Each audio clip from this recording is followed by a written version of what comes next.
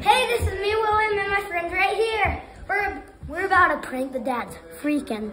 Let me get the let me get the can. Okay, let's go. First, we'll tell them. Okay, a so- couple burgers. Two or three pranking Mr. Josh. Yeah. Here, guys, we got some barbecue chips. You need that? Good. Josh, I'm gonna give you barbecue chops. Yeah. Um, I'm hungry. You Nice. get them? They're hard. These look delicious. What are these?